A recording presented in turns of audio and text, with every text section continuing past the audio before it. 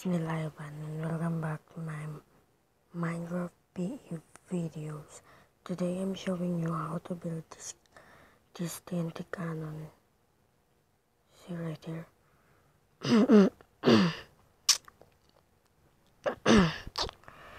right. This is how to use it. First, wait. Wait a minute. Wait a minute. Alright. Let's push this button. Oh, one, two, three, four, five. Two. Ooh, see? It's cannon. It's cannon. It's cannon. It's cannon. It's cannon. It's cannon. Cannon. Cannon. Now, this is the ingredients you need. You need choice. I'm using slime blocks, water bucket, button, redstone, dispenser, stone slab, and that's it. Oh yeah, I really forgot. Also need a TNT. That's it. Now, let's do this. First, you will need four blocks. I have five blocks. White like this, see? see five blocks. Three blocks facing there. Five blocks again. Stone block there. Stone slab.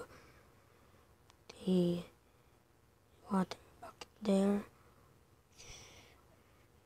Put the two block of choice there. Put a button. Hey, hey, it's a blanket. Hey, hey, hey. Put a dispenser. The dispenser here, okay? Not facing up, facing there. There. The redstone. Where's the redstone?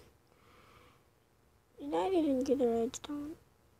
Oh, what's wrong with me? Redstone, redstone, redstone, redstone. And redstone. Redstone, redstone, redstone, redstone. No, you're done. So, this is how it works. Oh yeah, you're not done yet. You need to put There, there, and there. Oh, hi skeleton. Hi. Okay, bye. Now, let's do this. First, push this button. One, two, three, four, five. What? Oh, there. You need to wait five seconds before you flick the ad before you push the other button. Now, that's pretty much it. So, bye.